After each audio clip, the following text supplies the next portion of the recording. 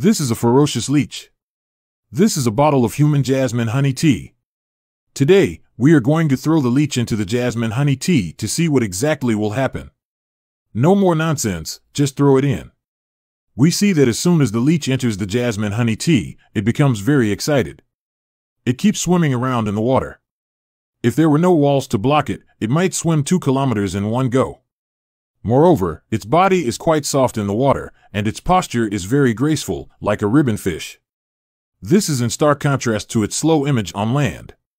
Although the leech seems very happy in the jasmine honey tea, it appears not to have caused it any harm. After getting tired of swimming, it just lies on the bottom and starts to rest. Let's scoop it out of the water and take a look. We see that the surface of the leech's body has only secreted some mucus, all other functions are normal. Clearly, jasmine honey tea does not cause harm to the leech.